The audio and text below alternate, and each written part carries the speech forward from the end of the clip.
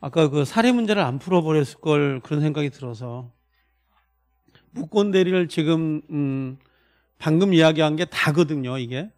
더 이상 할 게 없어요. 근데 무권 대리는 앞으로 계속 하긴 해요. 어, 시험 문제 안 나오는 게 아니고 매년마다 문제가 배정되는 거기 때문에. 자 이제 쉬운 거 좀 해보자고요. 우리가 계속 해왔던 것 중에 하나이긴 한데 어, 무효하고 취소를 하는 거거든요. 음, 우리가 이런 거잖아요. 갑이 똑같아요. 갑하고 을하고 이렇게 어, 매매 계약을 체결하는데 매매 계약이 뭐가 된다라고 했었어요. 매매 계약이. 요 매매 계약 자체가 뭐가 되는 거죠? 음, 무효가 되는 거고 그냥 우리가 그냥 쓰는 말이지만 그냥 쓰는 게 아니고 의미가 있는 건데 갑하고 을이라는 사람이 이렇게 집이 있다가 어, 1억에 매매가 돼요. 똑같아요 사례는. 어, 매매가 되는데 요 둘 다 매매 계약이 이제 뭐가 됐다는 거예요? 음, 취소가 됐다 이렇게 이야기하거든요. 똑같은 사례입니다. 근데 하나는 뭐가 됐냐면 무효이고 하나는 뭐가 되는 거예요? 예, 취소가 되는 사례거든요. 둘 다. 그럼 무효나 취소 둘다 요렇게 계약은 성립이 된 건가요? 안 된 건가요? 음, 성립이 됐다는 전제예요. 성립이 되지 않으면 무효나 취소를 논할 수가 없는 거거든요. 이게. 어, 이 무효 사유하고 취소는요. 우리가 정하는 게 아니에요. 이 사유는 법으로 정해져 있는 거예요. 당사자가 합의로 무효와 취소를 정하는 게 아니고 전부 다 법정 사유예요. 법정 사유. 사유인데 자, 무효는 이런 거예요. 그냥 개념으로 따지면 여기서 갑이라는 사람하고 을이라는 사람이 계약을 맺었어요. 이날 5월 1일 날 계약을 맺었는데 계약 자체는 성립이 돼야 안 돼요. 성립은 돼요. 근데 효력이 있어요, 없어요? 효력이 음, 없는 거예요. 그냥 없다, 없다, 없다 해요. 성립은 됐지만. 근데 취소는 이렇게 그려놓고 보면 갑과 을이라는 사람이 계약을 했어요. 5월 1일 날. 그리고 얘는 성립이 됐어요? 안 됐어요? 음, 됐어요. 성립이. 계약도 성립이 된 거고. 이때 효력이 있나요? 없나요? 음, 효력이 있는 거예요. 둘 차이가 보이시죠? 얘는 아예 계속 효력이 없는 것이고, 얘는 유효인 거예요. 유효인데, 이게 유동적이라 그래요. 유동적이다. 유동적이라는 건 움직인다는 말이거든요. 자, 근데 여기서 뭐가 됐냐면, 자, 취소하겠어요 라고 한다면 이게 처음으로 거슬러 올라가요. 음, 성립시로 처음으로 올라간다 이걸 예, 소급이라 그래요. 소급하여 효력이 있어요 없어요? 없어지는 형태 이걸 취소라 그래요. 근데 유효이다가 여기서 취소를 안 할 수도 있어요. 취소를 하지 않으면 이 유동적 유효였던 애가 이제 뭘로 바뀌는 거예요? 예, 확정적 유효로 바뀌어요. 그럼 확정적 유효로 바뀐다는 건 더 이상 취소할 수가 없다는 말이에요. 취소할 수가 없다. 아, 이런 멘트예요. 그러면 무효는 아예 계약은 성립이 되지만 효력이 없는 거잖아요. 그럼 이행될 이가 있어요, 없어요? 없어요. 그래서 나중에 가면 무효는 요 손해배상이라는 손배청이 나올 수가 없는 거야. 손해배상이라는 것은 계약이 유효인 상태에서 이행이 된 상태에서 이행된 상태에서 손해가 발생이 되거나 또는 뭔가 의무를 이행하지 않을 때 손해배상을 청구할 수가 있는데 무효 사유는 무효는 성립은 되더라도 처음부터 효력이 없는 거기 때문에 이행될 이유가 없을 거고 채무도 존재할 이유가 없어요. 그래서 무효는 손해배상이 나올 수가 없는 거예요. 근데 취소는 손해배상이 나올 수가 있는 거죠. 여기 유효였던 적이 있으니까. 요게 예, 그 차이가 있고 무효는 자 제가 이 말을 해볼게요. 이 무효란 글은 1번 처음부터 효력이 있어요 없어요? 처음부터 음, 효력이 있다 없다? 예, 없어요. 근데 이 취소는 뭐라고 했어요? 취소는 일단은 뭐예요? 일단은 음, 일단은 유효인 거예요. 다르죠. 여기는 처음부터 효력이 없는 거고 여기는 유효였다가 나중에 취소권자가 뭐 한다는 거예요? 취소를 하면 이게 처음으로 거슬러 올라가서 유효였다는 것을 효력을 없애버린다고 이걸 뭐라 그래요? 소급 무효화된다 이렇게 이야기해요. 효력이 없어진다. 그러면 처음부터 효력이 없다 소급하여 무효가 된다. 무효나 취소나 결과론적으로는 동일하죠. 그죠? 결과는 동일하지만 지나가는 과정이 다르단 말이에요. 이게. 그럼 두 번째는요. 무효는요. 누가 주장해야 무효가 되느냐? 아니에요. 첫 계약을 맺으면 반사의 질서에 해당되기 때문에 누가 무효를 주장해야 무효가 되는 게 아니라 얘는 그냥 누구나 주장할 수 있어요. 누구나. 어, 누구든지 주장할 수 있어요, 없어요? 어, 있어요. 그래서 강행복규를 위반한 자가 스스로 무효를 주장해도 상관이 없습니다. 자, 근데 여기 보니까 2번 취소는 안 그래요. 취소는 아예 법으로 정해져 있어요. 취소를 주장할 사람은 이러이러이러한 사람만 취소를 주장할 수 있지 누구나 주장할 수 있는 건 아니다 해가지고 140조에다가 140조에다가 어, 별도로 취소권자를 예, 정해놨습니다. 그래서 이 사람만 취소권을 주장할 수 있는 거지 누구나 주장할 수 있는 게 아니에요. 그 다음에 세 번째는 자 무효 사유에 해당되는 사유가 시간이 흘렀다고 해서 유효로 변경되거나 그런 건 없어요. 한 번 무효는 언제나 무효입니다. 그래서 언제나 언제나 예, 무효다. 효력이 없어요. 근데 자 세 번째 취소는 안 그래요. 취소권을 행사하기 전까지는 지금 뭐예요? 유효이죠. 그럼 그 행사 기간이 정해져 있어요. 취소권 행사 기간이. 그 기간이 경과돼 버리면 더 이상 취소권을 행사할 수 없도록 되어 있어. 그러고 나서 걔가 유동적 유효였던 게 확정적으로 유효로 바뀌어 버립니다. 그래서 취소권 행사 기간이 음, 취소권 어, 행사 기간이 정해져 있어요. 이게 그래서 요게 이제 3년하고 10년이라는 어, 기간이 정해져 있거든요. 3년, 10년 기간 안에 취소권을 행사하지 않으면 취소권을 박탈시켜 버립니다. 이런 것들이. 그래서 어떻게 보면 요게 좀 차이가 있거든요. 두 개가. 요건 뒤에 가면 나오는데 요 세 개는 내가 외우라 그래요. 이건요. 그래서 음, 무효나 취소가 되면 효과는 어떻게 돼요? 그러면 이행 전이면 이행할 필요가 있는 거야 없는 거야? 없는 거죠. 그렇죠? 아예. 그 다음에 이행 후에는 어떻게 돼요? 이행 후에는. 이행 후에는 이걸 부당이득이라 그래요. 부당이득으로 반환 청구할 수 있어요? 없어요? 음, 있어요. 이게 무효와 취소의 결론이에요. 이게 결론은. 근데 무효는 처음부터 획이 없습니다. 그렇죠? 성립은 됐어요. 둘 다. 그 다음 두 번째 누구든지 주장할 수 있는 거야 무효는? 그 다음에 언제든지 무효예요. 시간이 변한다고 해서 유효가 바뀌는 건 아닌데 이걸 무효의 3대 원칙이라고 제가 명명을 해요. 그냥. 이 무효 그러면 이 세 개가 꼭 기억나야 돼요. 무효. 처음부터 효력이 없다. 누구든지 주장할 수 있다. 언제나 무효입니다. 그럼 효과는 어떻게 돼요? 이행 전이면 이행할 필요 없고 이행 후에는 부당이득으로 반환 청구할 수 있는데 여기 부당이득 반환이 적용되지 않는 게 103조. 음, 반사의 질서는 무효이더라도 불법 원인 급여가 적용돼서 반환 청구할 수 없도록 되어 있는 거죠. 그건. 그건 나중에 문제. 자, 그래서 이제 무효를 먼저 보는 거예요. 무효를. 자, 여기 오니까 뭐라고 했냐면 그 59페이지에 법률 행위가 잘 모르면 계약이라고 생각하면 돼. 계약이. 계약이 성립되지 않는 경우에는 무효화 취소에 관한 규정은 적용된다 안 된다? 적용될 여지가 없다 그랬어요. 그러면 무효 취소가 적용되려면 뭐가 됐다 돼? 계약에 성립이 됐다는 전제에서 출발하는 것이지 성립되지 않았다라고 하는 걸 다른 말로 줄여가지고 간혹 이걸 불성립 이렇게 이야기를 해요. 예, 성립이 되지 않으면 무효나 취소라는 건 나올 수가 없어요. 성립이 됐다는 전제에서만 무효 취소가 나오는데 아 네, 무효는 무조건 별 다섯 개거든요. 예, 무조건 무효는 알고 계셔야 됩니다.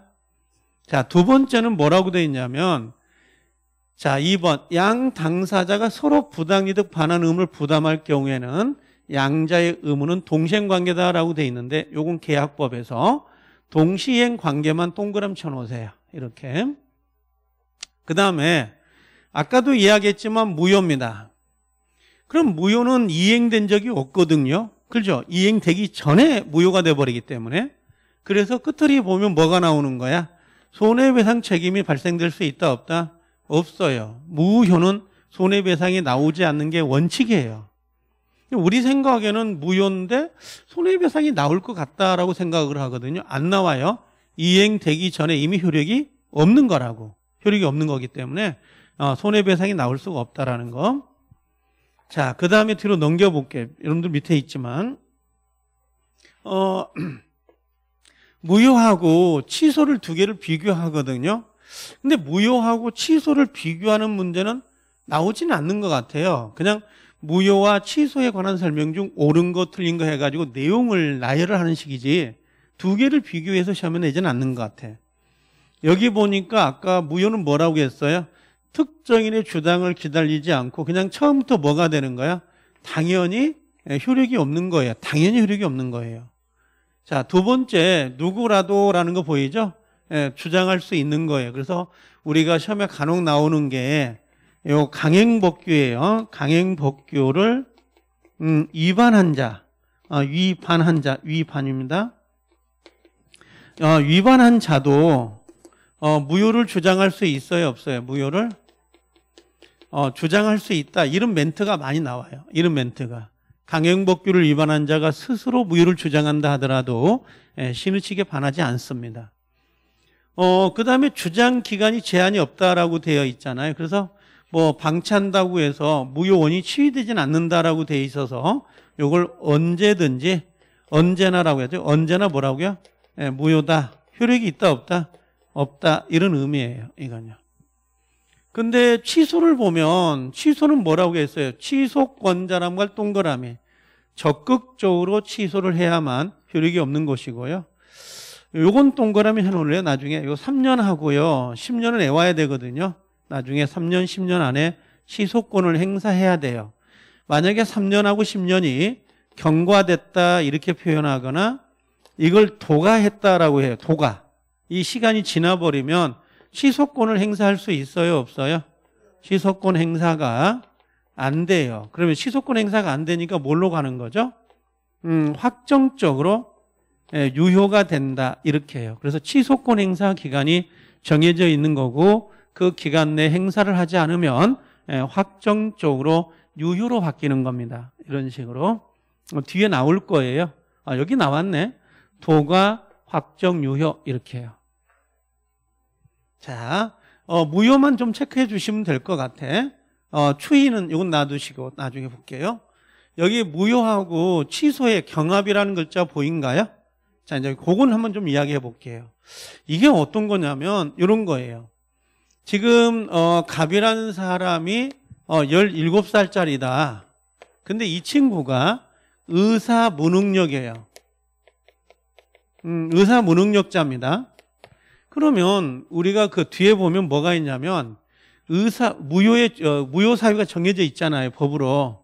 여기에 보면 뭐라고 되어 있냐면 의사 무능력자 보이죠? 의사 무능력자가 누구냐면요. 유아 젖먹이들 어린애들 그 다음에 만취자. 그 술이 떡이 된 사람 있잖아요. 아니면 정신병자? 음, 이런 사람들이 의사 무능력자예요 이런 게이 의사 무능력자는 무효 사유거든요. 자, 그럼 여기 갑이라는 사람이 17살짜리인데 의사 무능력자다. 그럼 17살짜리는 미성년자잖아요, 지금. 그죠? 미성년자니까 미성년자에는 취소 사유가 들어가요. 이게 제한 능력자. 취소 사유가 되고 의사 무능력자는 무효 사유가 돼요. 이렇게 두 개가. 그럼 다시 해볼게요. 여기다가 무효 사유가 지금 이렇게 되어 있잖아요. 그럼 여기다가 이렇게 한번 해볼까요? 밑에 써도 되고요. 어, 취소 사유가 법으로 정한 취소 사유가 총 4개가 있습니다. 우리 법에는 1번이 뭘로 돼 있냐면 첫 번째가 뭐였죠? 어, 제한 능력자. 제한 능력자다라고 하면 미성년자 생각하면 돼요. 미성년자는 만 19세가 되지 않는 자를 미성년자라 그래요. 이번 6월부터는 올해 6월부터는 이제 만으로 나이를 따집니다. 나이로. 그다음에 두 번째는 뭐가 있었냐면 차고, 세 번째는 사기, 네 번째는 강박이거든요. 이렇게. 그래서 취소 사유가 네 가지가 있어요. 취소는 네 개밖에 없어요. 네, 취소 사유가. 그래서 제한 능력자 차고 사기 강박은 취소 사유인데 자, 여기 보면 17살짜리는 미성년자니까 취소 사유고 의사 무능력자는 무효 사유잖아요. 근데 이 친구가 계약을 맺은 거예요. 을하고 매매 계약을. 그럼 매매 계약을 맺었을 때 요 갑이라는 사람은 이 계약을 취소를 주장할 거냐, 무효를 주장할 것이냐, 그게 문제가 된 거예요, 지금. 이걸 우리가 이중효라 그래요. 이중효라고 해서 갑은 취소로 주장할 수도 있고 무효를 주장할 수도 있습니다. 이런 의미예요. 그래서 거기 음, 박스에 다시 돌아가 보면 여기 요겁니다, 지금. 뭐라고 되어 있냐면 하나의 법률행위, 하나의 계약이에요. 하나의 계약입니다. 계약에 무효 사유와 취소 사유가 동시에 존재할 경우다. 예컨대 미성년자가 이건 취소 사유죠. 그다음 의사 무능력적 이게 뭐예요? 무효 사유거든요. 그럼 취소 사유와 무효 사유가 있을 때 이걸 뭘로 주장할 것이냐 그랬더니 그중 어느 한 요건을 증명하여 무효를 주장할 수도 있고 또는 뭐예요?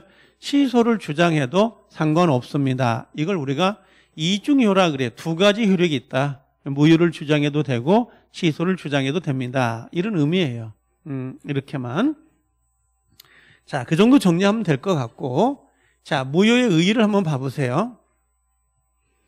자, 들어오면 무효. 아직은 제가 빨간색을 표시 안 했어요, 지금. 어, 무효라는 게 뭐냐 그랬어요. 계약이 성립할 당시부터란 말, 당시가 뭐예요? 어, 처음부터 이런 말이거든요. 처음부터 법률상 당연이란 말 뭘까요? 당연이란 말은 누가, 누가 주장하지 않아도 어, 주장하지 않아도 이런 의미예요. 주장하지 않아도 누가 주장하지 않아도 당연히 그 효력이 발생하지 않는 걸로 확정되어 있는 것을 말한다 그랬어요. 이게 무효예요. 이건 자, 여기도 아까 전제가 뭐라고 했어요? 성립을 전제로 한다 그랬어요. 계약이 성립되지 않으면 무효란 말을 이야기할 수가 없는 거죠. 그래서 여기처럼 어, 불성립의 경우에는 무효에 관한 법리가 무효에 관한 법리가 뭐냐면 일부 무효, 무효행위 추임, 무효의 전환, 채무불이행, 담보책임 이런 게 적용될 여지가 없고 역시 취소도 적용될 여지가 없다라고 돼 있어요. 그러니까 이것만 하나 체크하면 돼요. 성립되지 않았다 그러면 무효 취소에 관한 규정이 전혀 나오지 않습니다. 이게 성립되지 않았다 그러면 그냥 어, 뭐라고 돼? 성립되지 않았다 그러면 자 여지가 있다 없다 없다 이렇게 보시면 되겠죠. 성립되지 않았다면 아예 나오지 않는다는 거. 자, 그 다음 밑에 무효 사유는, 어, 어느 정도 윤곽은 좀 잡고 계셔야 됩니다. 어, 원시적 불능은 무효였죠.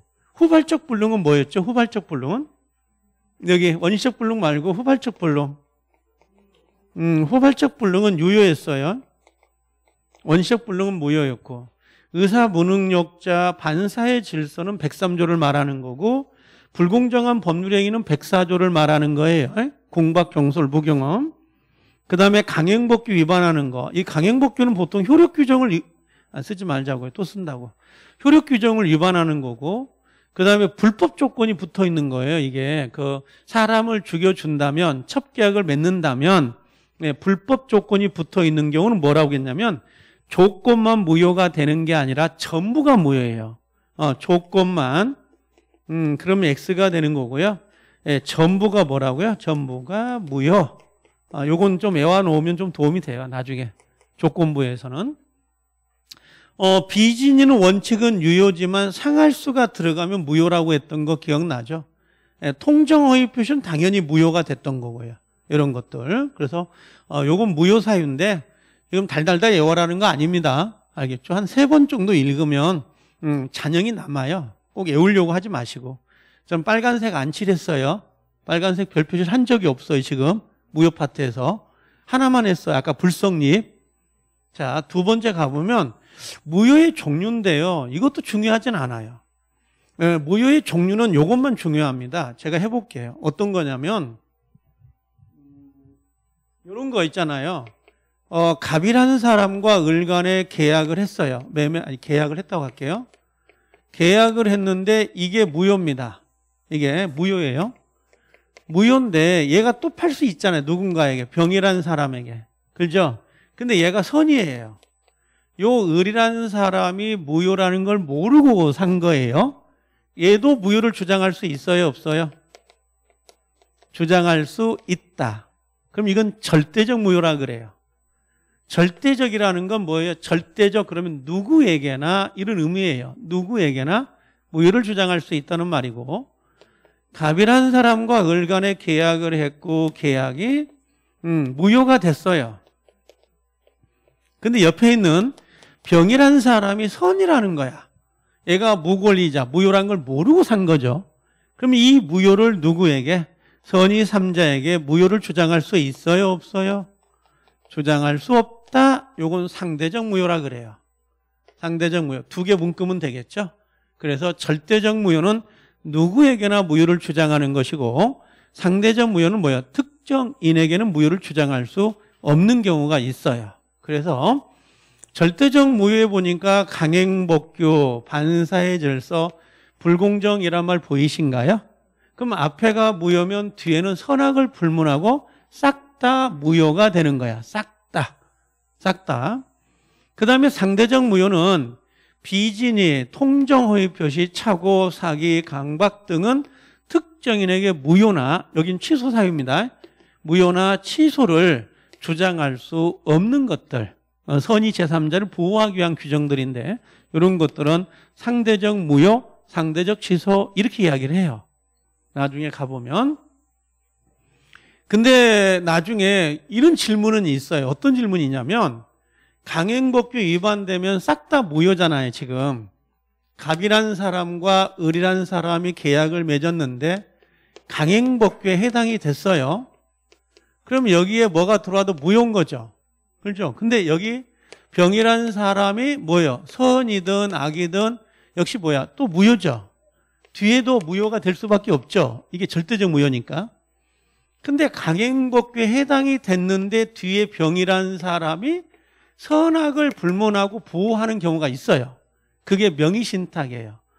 부동산 실권리자 명의신탁은 앞에가 명의신탁을 해도 무효이지만 그걸 이삼 병이란 사람이 제3자가 선이든 악이든 상관없이 소유권 취득을 인정해 줘요. 그건 나중에 그 부실법, 그러니까 부동산 실권리자 명의 등기에 가서 보면 규정이 따로 되어 있어요. 별도로. 그래서 여기가 보호가 되는 경우가 있어요. 간혹 가다가 질문을 던져요. 강행복규에 해당되면 절대적 무효니까 뒤에 있는 삼자는 권리를 취득할 수가 없는데 왜 명의신탁에서는 이 사람을 보호할 수 있습니까? 이렇게 물어보는 경우가 나와요. 그건 별도의 규정이 따로 돼 있어요.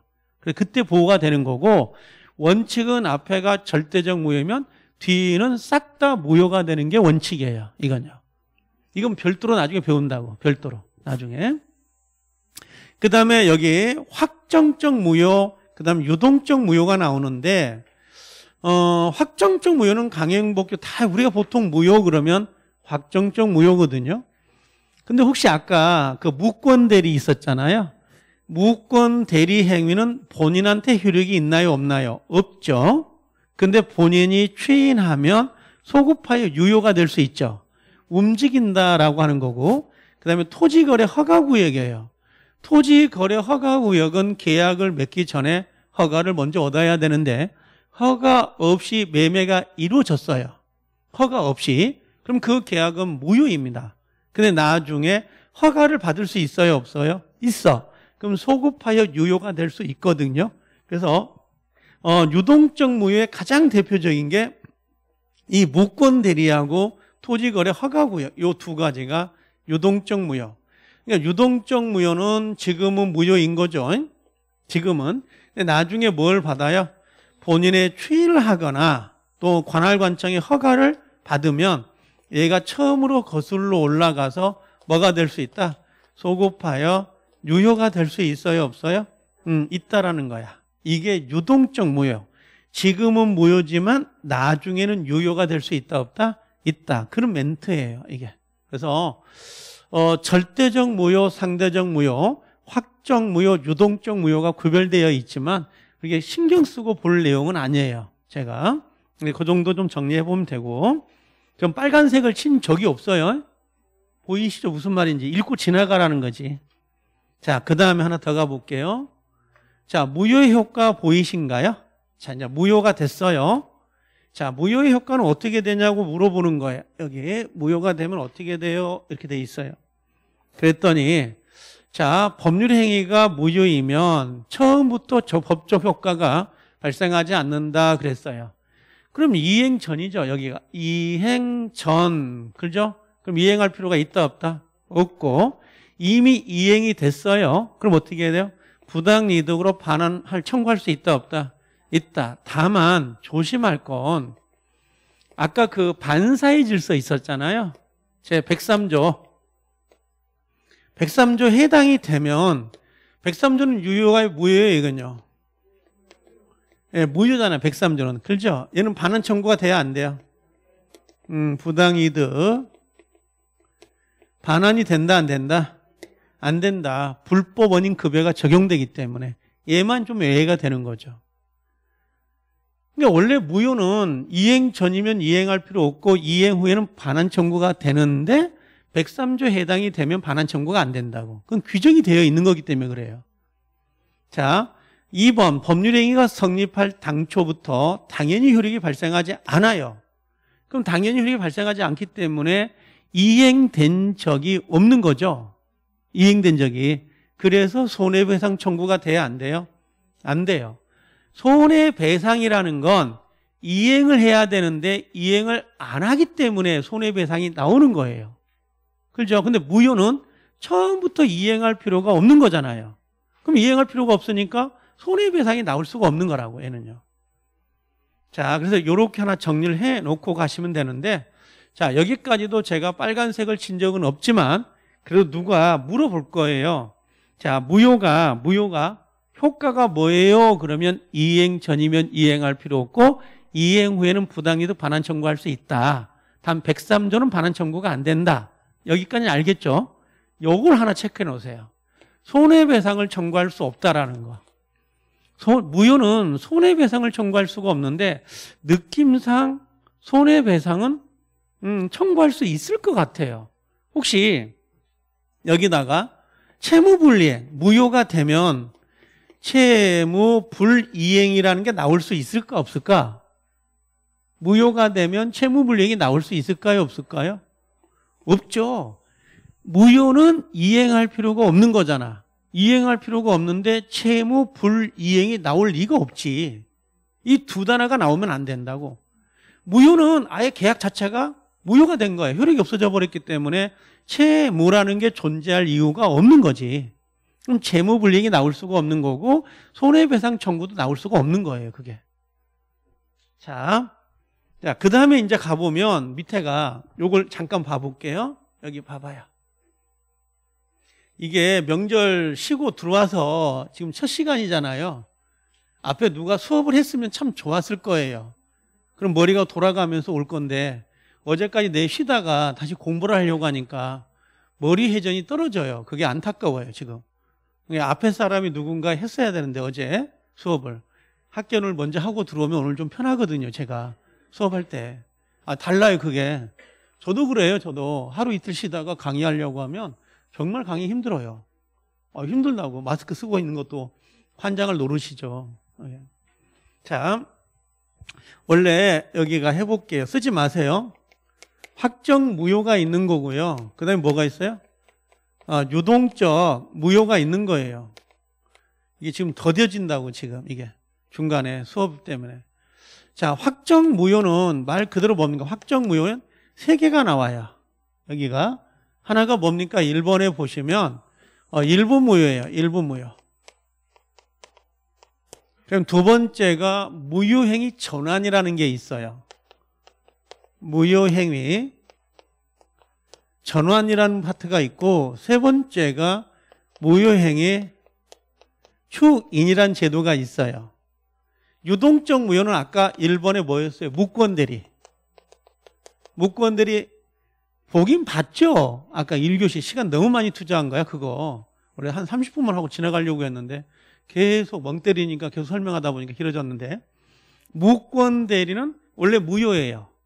본인이 주인을 해야 소금 유효가 되는 거거든.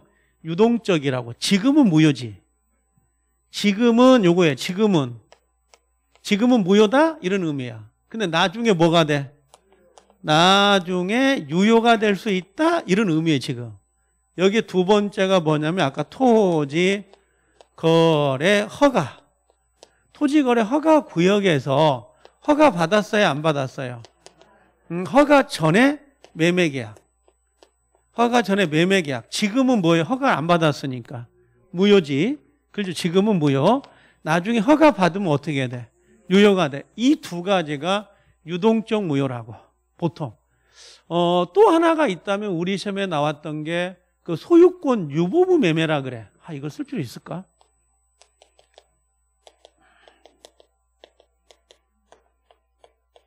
이 소유권 유보부 매매는 뭐냐면 쉽게 말하면 활부 매매, 활부.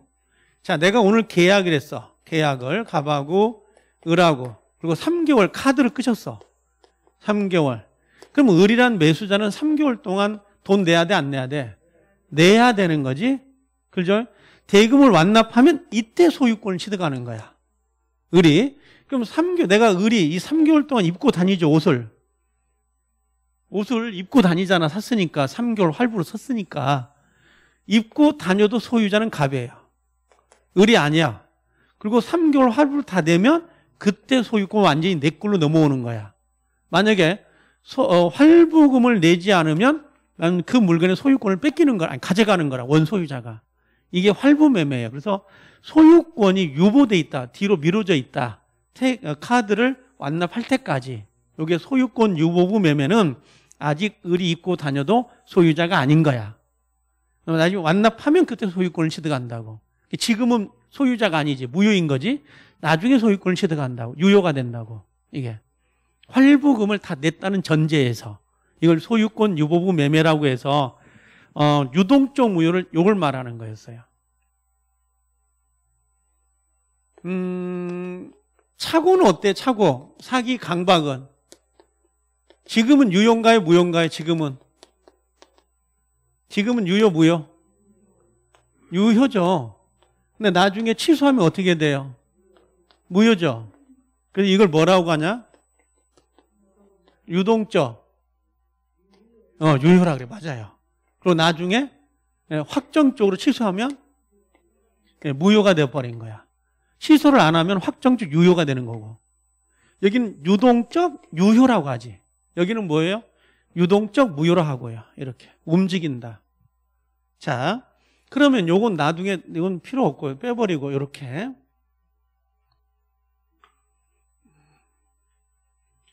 지금 제가 보려고 하는 건 요거예요. 확정 무효 중에 세 개.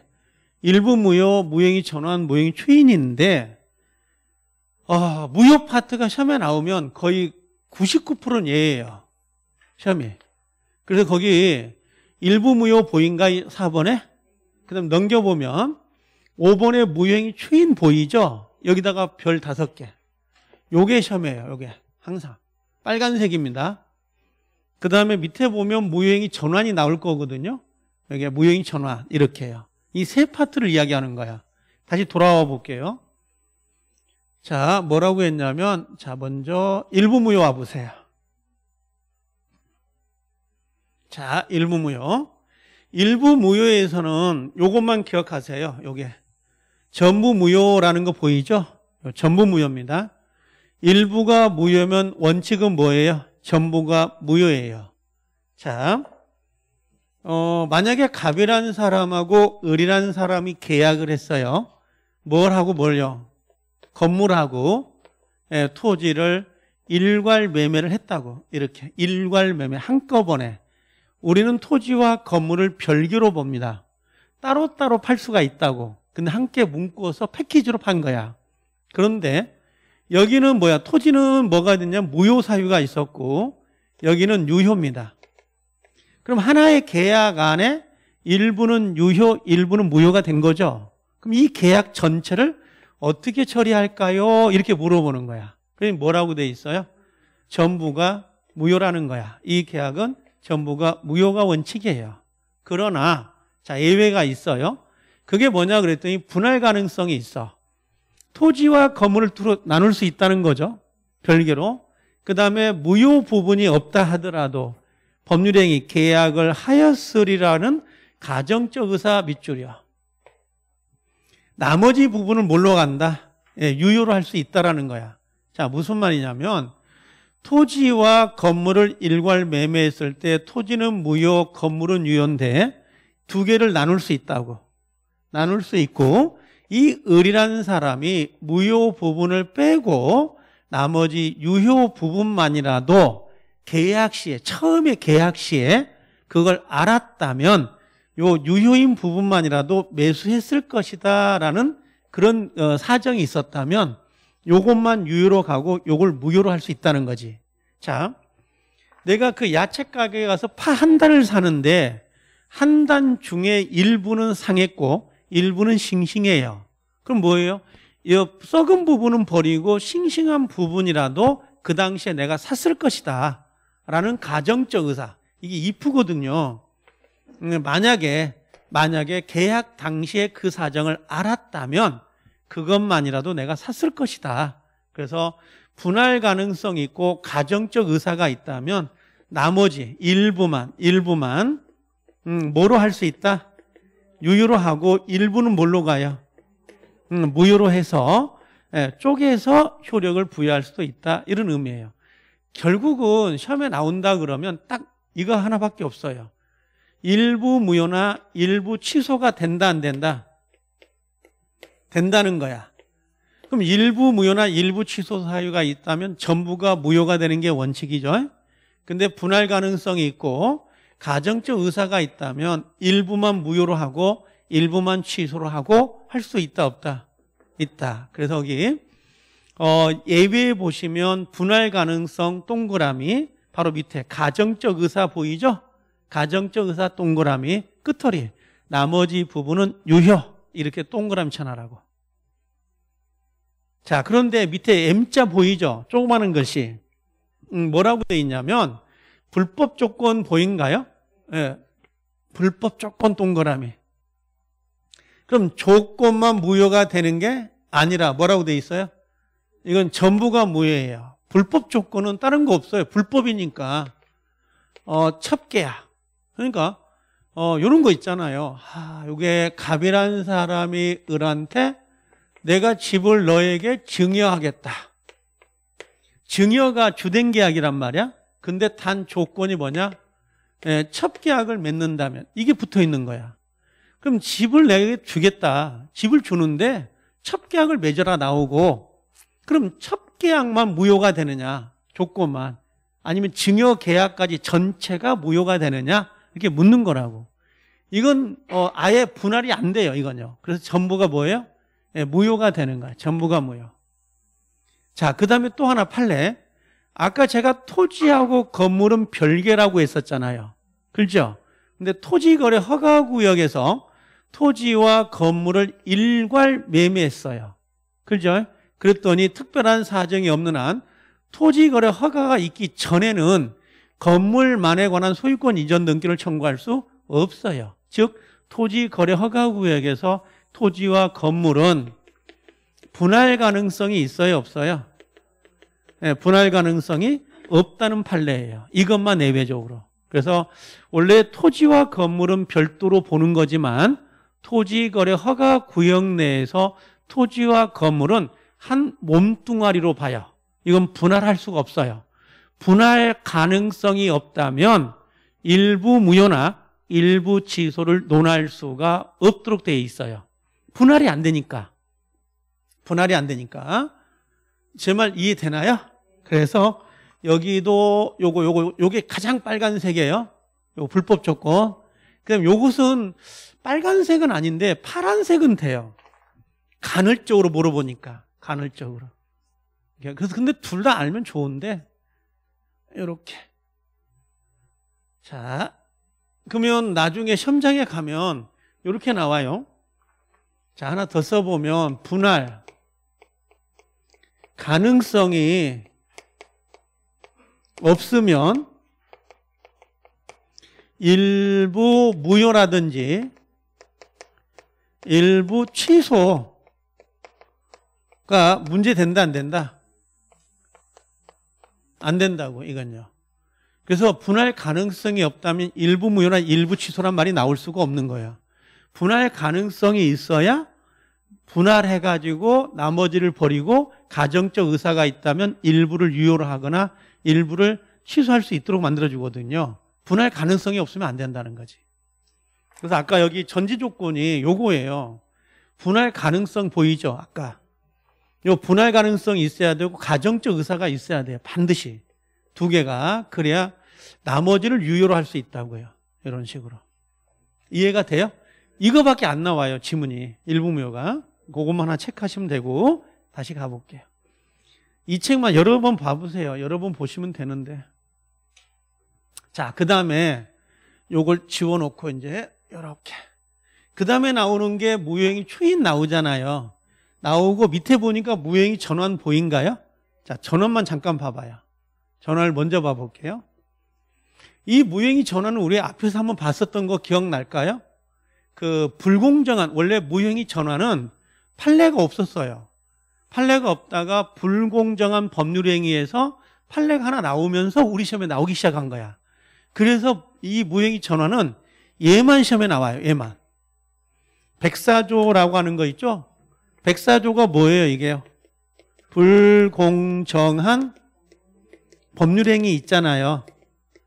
여기에서만 문제가 배정이 돼요. 그래서 이걸 표현할 때에 이걸 꼭 체크해 놓으세요. 매매 대금 과다. 어, 무슨 말이냐면 지문에는 백사조가 나오지 않고 매매 대금 과다로 나올 때가 있거든요. 자, 예를 들어보면 이런 거예요. 불공정 법률행위가 어떤 거였죠, 여러분들? 갑이 집을 하나 가지고 있는데 이게 2억짜리예요. 한 1억짜리. 1억짜리 집인데 요게 을이 어, 2천만 원에 매입을 했죠. 그죠? 급부와 반대급부의 현저한 불균형이 있죠. 그 다음에 피해자의 공박 정서를 얘가 알고 이용했죠. 그럼 불공정 법률행위로 이 계약은 무효가 되는 거죠. 근데 갑이라는 사람과 을 간에 아까 이 2천만 원이 아니라 예를 들면 9천만 원으로 계약을 바꿨어요. 내용을. 그럼 을과의 계약을 유효로 갈 수도 있다 없다? 있다. 2천을 9천으로 전환시킨 거죠. 그럼 이건 불공정성이 없어져 버린 거거든요. 그래서 여기 매매 계약이 약정된 매매 대금 과도로 인하여 불공정한 법률에 해당될 경우 무효행위 전환에 관한 138조가 적용될 수 있다. 그럼 뭘로 갈 수 있다? 유효로 갈 수 있어요? 없어요? 있다. 이렇게 이야기를 하는 거야. 지금 이게 전환이에요. 전환. 2천만 원짜리를 8천, 9천 원 전환시킨 거죠. 자, 그러면 유효가 될 수 있는 거고 다만 어 이건 추인은 돼야 안 돼. 추인은. 음, 추인은 안 되는 거예요. 전환만 인정하는 것이지. 자, 그래서 나와 있는 거고 요건 그저 별로 중요하진 않아요. 요것만 기억하면 돼요. 요것만 하나만. 자, 다시 돌아와 볼게요. 무효행위 추인인데 이제 요걸 하나 좀 기억하자고 거의 얘가 문제가 배정되는 파트거든요. 어, 혹시 그 통정의 표시 기억나요? 예, 가 A라는 사람이 채권자가 되고 그 다음에 여기에 갑이라는 사람이 채무자예요. 그럼 얘가 돈을 안 갚으면 얘가 강제 집행할 수 있다 그랬죠. 저번에 강제 집행을 할 수가 있으니까 요 갑이라는 사람이 자기 재산을 을하고 둘이 짜요. 짜고 거짓골로 뭐 가장 매매를 하거나 가등기를 해놓는다고. 자, 여기다가 얘가 가등기를 해놨다고 합시다. 가등기를 이렇게. 그럼 이 가등기이더라도 유효인가요? 무효인가요? 당연히 무효입니다. 통정허위 표시는 무효니까 108조에 따라서 무효인데 얘가 가등기를 해놓고 한 3년 지났을까? 얘가 얘한테 와서 뭐라고 하냐면 내가 집을 팔려고 한다 그래요. 집을 팔려고 하는데 당신이 가등기가 되어 있으니까 어, 가등기가 되어 있으니까 당신이 사면 어떻겠냐 이렇게 물어보는 거야 지금. 그럼 원래 가등기는 통정허위 표시기 때문에 5월 1일 날 무효였던 건데 나중에 3년 뒤에 3년 뭐 상관없으니까 그리고 3년 뒤에 다시 뭐요? 얘가 매수가 들어온 거예요. 매수제의가. 그럼 을도 내가 사고 싶을 수 있잖아요. 가등기에 비해서. 그 얘가 본등기를 한다고. 이게 한 예를 들면 7월 1일 날 이렇게 본등기에서 진짜 소유권을 사가지고 온 거야. 그러면 무효인 행위를 을이 추후에 인정을 한 거거든요. 유효가 된단 말이야. 그럼 유효가 됐을 때 7월 1일부터 유효가 되느냐 아니면 5월 1일 날로 소급하여 이때부터 유효가 되느냐 요게 논점이에요. 무효인 행위를 추인한다라고 할 때, 무효인 행위를 추인할 때게 그럼 무효 행위를 뭐 한다는 거야? 추후에 인정한다는 말이거든요. 추후에 인정하겠다. 그럼 무효 행위를 추후에 인정할 때게 요 추인할 때부터 어, 유효가 되는 거냐? 아니면 계약 시 소급하여 유효가 되는 거냐? 요걸 물어보는 거야. 논점 자체가. 요게. 그랬더니 우리는 요 추인한 때 여기 있죠? 이때부터 뭐가 되는 거야? 예, 무효인 행위를 갖다가 유효로 한 게 아니라 새로 계약을 맺은 거. 새로운 뭐가 된 거야? 계약으로서 유효가 됩니다. 이렇게 가는 거야. 한 번 무효는 영원한 무효이기 때문에 무효인 행위를 유효로 만드는 게 아니라 여기에서 새로운 계약을 맺은 거지. 새로운 계약을 맺었기 때문에 추인한 때부터 새로운 계약이 되는 것이지 소급하여 유효로 할 수는 없다라고 하는 거예요. 자, 다만 무효행위 중에서 무효행위 중에서 강행복규라는 거 있잖아요. 강행복규. 그 다음에 103조 그 반사의 질서 첩계약 같은 거 오늘 첩계약 맺었는데 우리 첩계약은 무효인 줄 알지? 우리 추인할까? 그럼 유효로 바뀌어버리면 단속할 수가 없잖아요. 그래서 강행법규나 103조나 또는 불공정 법률행위 104조는 얘는 추인이란 제도를 인정하지 않아요. 이걸 제외한 나머지에 대해서만 추인을 인정해 주는 것이지 강행법규 103조, 104조는 사회 질서를 문란하게 하는 거고 사회 질서를 어, 없애야만 추인이 가능하거든요. 어, 추인은 추인이 되려면 무효 원인이 소멸돼야 돼요. 무효 원인이 소멸되지 않는 상태에서는 추인을 인정할 수가 없어요. 근데 강행복규나 103조나 104조는 어, 무효 원인이 소멸되기가 어렵죠. 계속 침해가 되고 있는 거기 때문에 추인 자체가 들을 수가 없는 거예요. 이게 그래서 지금 여기서 말하는 무효행위 추인은 예를 들면 아까 의사 무능력자 아니면 비진이 상할 수 통정허위 표시 정도가 무효행위 추인이 인정돼요. 자, 여기 보면 자, 무효인 뭐라고 돼 있어요? 법률 행위를 추후에 인정하겠다라고 하는 거거든요. 이건 상당히 중요합니다. 그럼 원래는 확정적 무효는 무효인 법률 행위를 추인한다고 해서 유효가 되지는 않습니다. 원래는. 근데 여기 별표시 무효 원인이 소멸된 후 보인가요? 추인은 무조건 무효 원인이 소멸돼야 돼요. 무효임을 알고 추인하면 뭐라고 돼 있어요? 새로운 법률 행위가 된다라고 돼 있죠. 소급한다 안 한다? 안 한다. 그럼 여기다가 여기가 아주 중요해요. 어, 새로운 법률 행위가 되는 것이지 소급하여 아니면 처음부터 그러면 안 돼요. 이건 처음부터 그러면 안 됩니다. 처음부터 어, 안 되고 법률 행위 시부터 법률 어, 행위 시부터 그러면 예, 무조건 X가 돼요. 새로운 법률 행위가 된다라고 해야 되지 소급한다 그러면 안 됩니다. 그 다음에 추인은 아까 항상 이야기하지만 분류식이에요. 명시적이든 묵시적이든 상관없다고.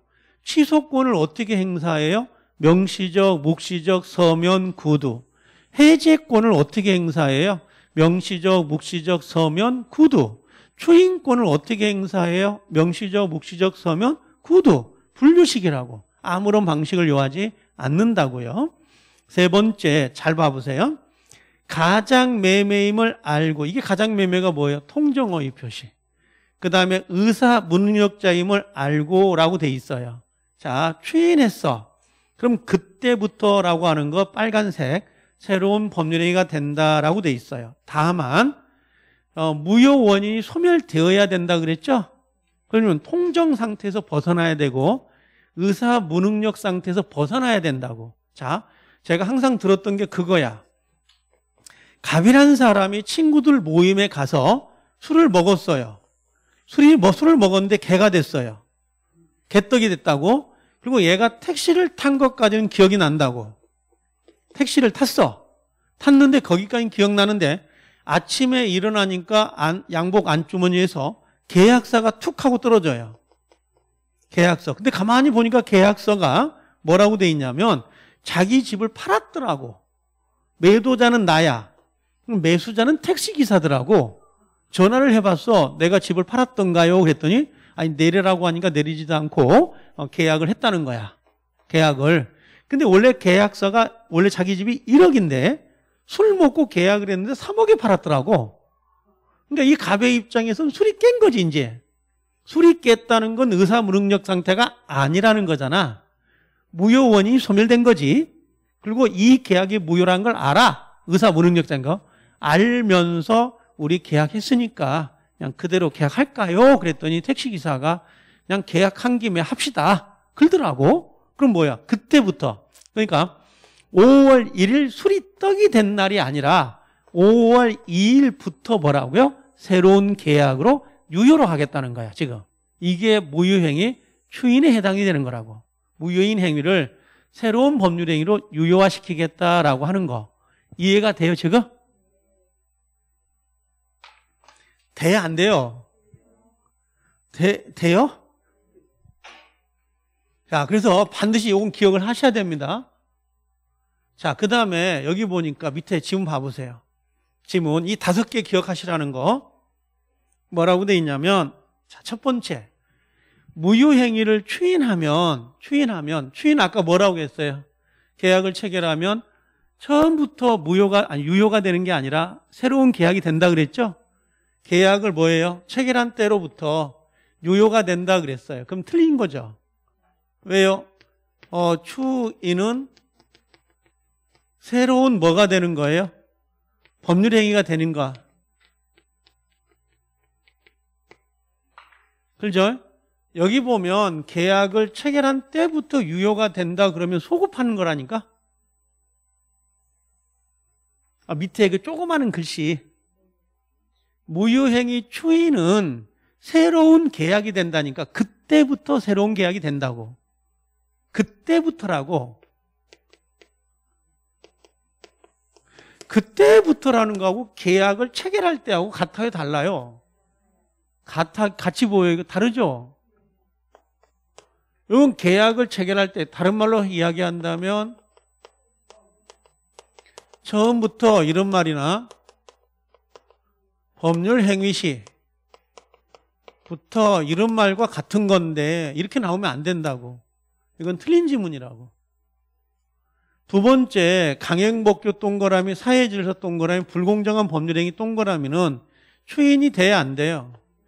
예, 추인할 수 없어요. 왜 그러냐면 어, 강행법규 103, 104조는 그 무효 상태가 계속 존재하고 있는 형태이기 때문에 예, 무효 사유가 소멸되어야만 추인할 수 있거든요.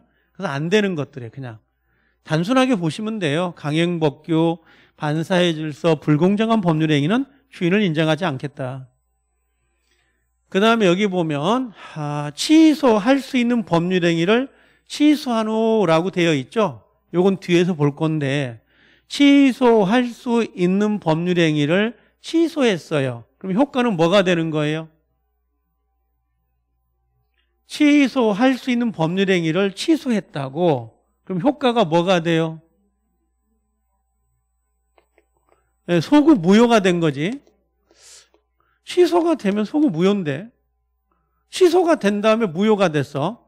무효가 된 것을 무효행위 추인을 적용해 가지고 새로운 법률행위로 갈 수 있겠냐 이걸 물어보는 거예요 지금. 자 요게 가능하다라고 되어 있어요. 그래서 새로운 예, 법률행위가 될 수 있다. 음, 나중에 좀 다시 하자고요 이건요 이게 아니 취소할 수 있는 법률 행위가 뭐죠? 취소할 수 있는 법률 행위가 뭐예요? 제한 능력자, 착오, 사기, 강박 지금 유효인가요? 무효인가요? 취소할 수 있는 법률 행위는 유효인가요? 무효인가요? 유효. 근데 취소했네? 그럼 뭐가 돼요? 무효. 취소하면 소금 무효잖아. 무효 왔으니까 무효행위 추인을 적용해가지고 새로운 법률행위로 갈 수 있냐고 물어보는 거야. 될 수 있다, 없다? 있다. 그런 말이거든, 지금. 자, 무효인 가등기를 유효한 등기로 적용, 전용키로 한 약정은 예, 그때부터 유효가 된다 그랬어요. 이거 뭐 특이하게 안 되는, 소급이 안 된다는 거. 나중에 보게요, 이것도. 자, 통정허위 표시 추인했어요. 그럼 뭘로 가요? 새로운 법률행위. 왜 그러냐면, 통정허위 표시는 당사 사이는 뭐라고 했죠? 언제나? 음, 무효가 되니까. 예, 사회질서 위반되는 게 아니기 때문에 추인이 가능하죠. 예, 새로운 법률 행위가 될 수 있는데, 지금 1번, 2번, 3번, 4번, 5번들이요. 의외로 잘 나오는 지문이에요. 여기까지. 그래서 무효행위 추인은 100% 나온다고 보시고 가셔야 돼요. 이 무조건 요 안에 들어가 있는 거. 양가로 5번은요. 자, 그 정도 정리하면 될 것 같고 그 다음에 뒤로 넘겨보면 지문이 나와 있는 게 기출 지문들이기 때문에 눈에 아마 보일 거예요. 이게 이렇게 보시면 어, 여기 보면 일부 무효는 어, 의무 규정이에요. 어, 의무 규정이기 때문에 당사자가 별도로 약정할 수 있습니다. 어, 요건 한 번 나왔어요. 17회 때인가 약관법은요. 일부가 무효이더라도 어, 여기 민법 137조를 적용하지 않는다라고 되어 있거든요. 어, 이게 뭐냐면 일부 무효는 원칙 137조가 원칙이 뭐죠? 원칙이 음, 전부가 예, 무효잖아요. 근데 약관법이 있죠. 약관이라는 게 우리 보험 약관. 약관은 일부가 무효예요. 약관은 일부가 무효이더라도 일부가 예, 무효로 가요. 이렇게. 그러니까 원래 무효는 전부가 무효가 원칙이거든요. 근데 약관법은 1조부터 100조까지 있을 때 일부가 무효 사유가 있으면 원칙은 전부가 무효가 돼야 되는데 약관법은 그냥 일부 무효만 취해요. 그것만 무효로 하고 나머지는 유효로 해버립니다. 그게 원칙이에요. 여기가. 요게 원칙이라고. 일부 무효가. 약관법은. 다르죠, 지금 내용이. 그게 그거 아닌가? 그게 아닌데. 이렇게 보면. 약관법은 일부가 무효이더라도 전부 무효가 아니라고 일부가 무효고 나머지는 유효로 하거든요. 근데 우리가 민법상의 일부 무효는 일부가 무효면 전부를 무효로 하는 게 원칙이거든. 약관과 다르다고 지금 이게 포지션이 지금. 그 다음에 불, 불가분여. 나눌 수 있다, 나눌 수 없다. 나눌 수 없죠. 그럼 일부 무효의 문제가 생긴다, 안 생긴다? 안 생겨. 일부 무효가 나오려면, 일부 무효가 나오려면 뭐라고 했어요? 분할 가능성이 있어야 되고, 플러스 뭐가 있어야 돼요? 플러스 가정적 의사가 있어야 돼. if 만약에 가정적 의사가 있어야 가능하거든. 근데 분할 가능성이 아예 없다고. 그럼 일부 무효, 일부 취소가 나올 수가 없는 거죠. 강행법규, 사회질서 위반, 불공정 법률행위에 해당하여 무효인 것은 초인 동그라미 효력이 없어요. 초인 자체를 인정하지 않아요. 애들은요. 아까 가등기 동그라미 쳐 무효인 가등기 동그라미 그때부터 동그라미 쳐놔요. 그때부터 예, 소급하여 유효가 될 수는 없어요. 이 소급하여 유효가 된다 그러면 안 돼요. 아마 공시법에서 가등기의 특성을 배우면 금방 아는데 자, 그 다음에 무효인 법률행위는 원칙은 추인하더라도 효력이 생기지 않는다. 이게 원칙이에요. 이게 원칙입니다. 자, 그 다음에 무효 추인은요. 예, 소급한다 안 한다 소급료가 없어 뭘로 간다 그랬죠? 새로운 예, 법률 어, 행위가 되는 거예요 이렇게 그러면 6번 가볼게요 이거 헷갈려 하거든요 6번요. 어, 무효인 법률행위 추인하더라도 아무런 효력이 없다라고 돼 있는 거 보이시죠? 보이신가요? 근데 아까 무효행위를 추인하면 새로운 법률행위가 된다면서요. 원칙은 뭐예요? 무효인 원인을 무효행위를 추인하더라도 아무런 효력이 없습니다.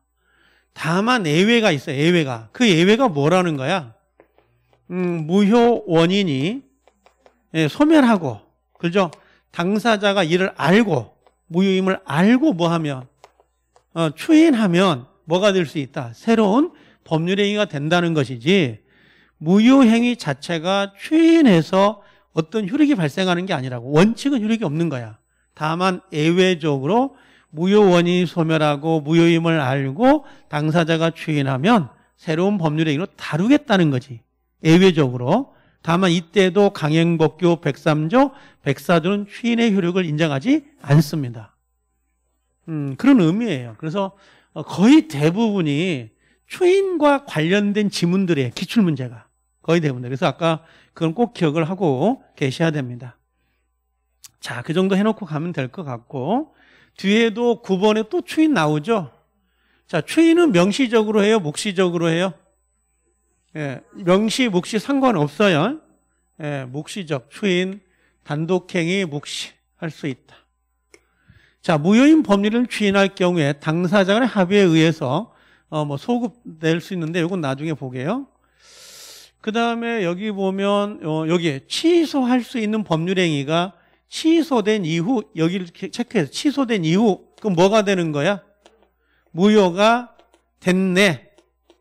그죠? 됐네 이게 맞나? 됐네? 이게 이걸 해석을 못해요. 취소된 이후 그럼 뭐야? 이게 무슨 뜻인지 모른가 봐. 취소가 됐다면 무효가 된 거죠. 무효가 됐으니까 이제 뭐예요? 무효행위 추인을 인정해 줄 수 있어 없어요? 추인을 인정해 줄 수 있다 없다? 있다. 무효가 된 거니까. 무효가 됐으니까 무효행위 추인을 적용해서 새로운 법률 행위로 갈 수 있다 없다? 있다. 이렇게 지금 논거를 찾는 거예요, 지금. 어렵나요? 취소할 수 있는 행위는 유효인 거고 취소가 돼버리면 무효가 된 거고 무효가 된 상태에서는 무효행위 추인을 적용해서 새로운 법률로 갈 수가 있다고요. 자, 이 정도 해놓고 좀 쉬었다 와야 되겠네. 아, 문제 풀어야 되네. 뒤에 보세요. 그냥 몰라도 그냥 아는 체만 해주면 되는데 전혀 반응을 안 보이니까 계속 반복이 되는 거야, 지금. 저번 주하고 완전히 달라. 지금 받아들인 게. 동영상 보고 오라고 했는데 봤나요? 앞에 거 한 세 번 정도는? 자, 다시 봐봐요. 어, 법률이 무효에 관한 설명 중 옳은 거라고 되어 있거든요.